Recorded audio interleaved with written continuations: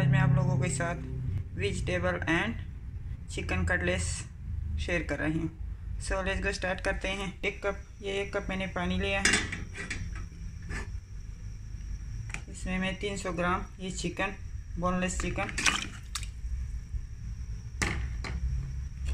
एक चम्मच अदरक लहसुन का पेस्ट आधा चम्मच सॉल्ट और मैं इसको 15 टू 20 मिनट उबालने के लिए रख दी chicken is ready now so chicken को मैंने ठंडा करके स्ट्रेट किया। अब नेक्स्ट स्टेप की तरफ़ चलते हैं। दो चम्मच बटर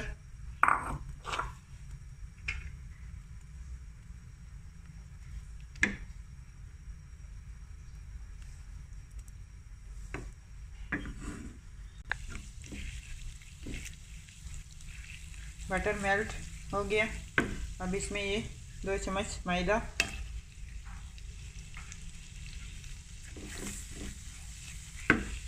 मैदे के कलर चेंज नहीं करना।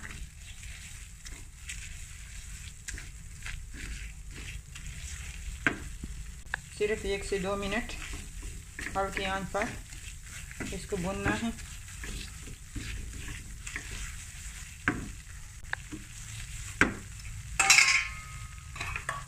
मैदे को मैंने, एक से दो मिनट भून लिया अब ये पत्ता गोभी, एक कप।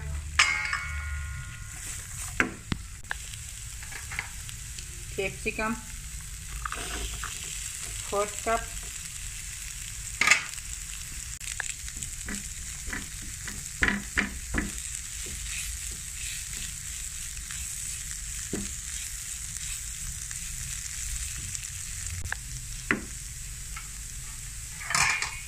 गाजर, आधा कप। इसके मैंने कद्दूकश किया।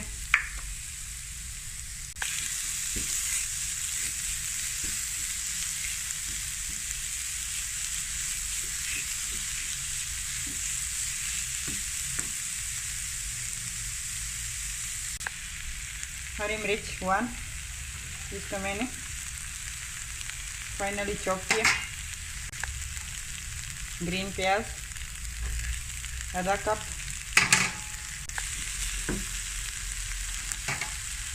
ये तीन सौ ग्राम चिकन जो मैंने इसको मैंने उबाल के फ्रेश किया। कुछ लाल मिर्च, आधा चम्मच। ब्लैक पेपर आधा चम्मच।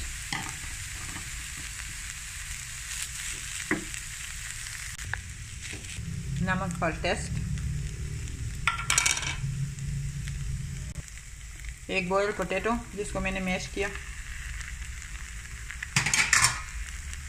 सब चीज़ों को मैंने अच्छी तरह मिक्स किया।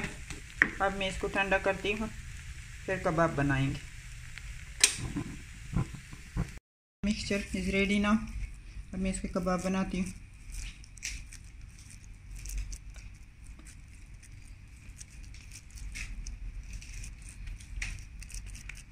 मैंने आज लंबे लंबे कबाब बनाने हैं लाइक दिस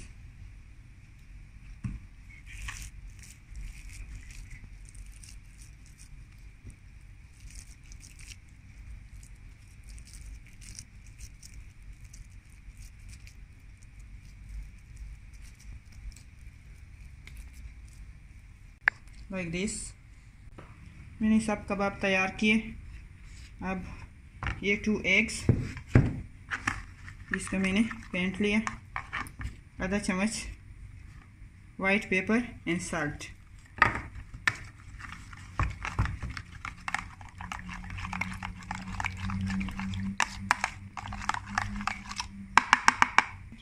Russian कबाब हैं सो इस पर मैं फास मैदे में सिंपल मैदा है, ये लगाती हूँ।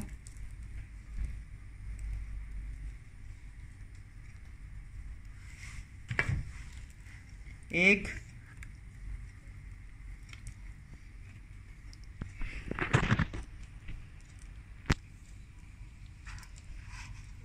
सेविया, जिसको मैंने ज़्यादा, थोड़ा सा ज़्यादा क्रश किए।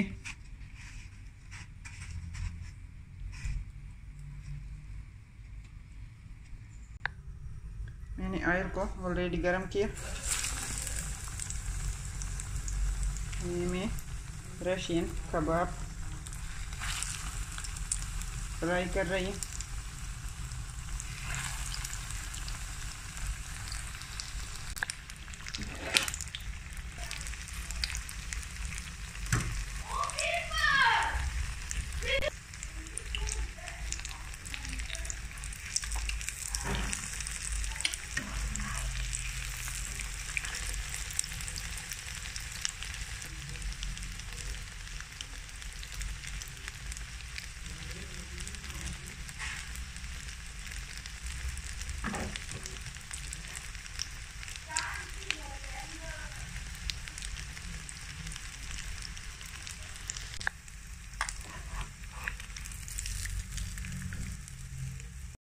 The Russian kebab is ready.